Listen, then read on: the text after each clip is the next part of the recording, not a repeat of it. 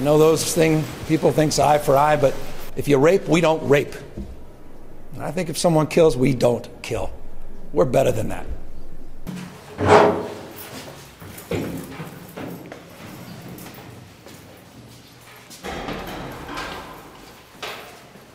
So, this moratorium advances that principle. We will reprieve those on death row. We're not commuting the sentences. People still remain in custody. We are no longer going to support the injection protocol. And we are, as I speak, as I speak, shutting down, removing the equipment in the death chamber at San Quentin.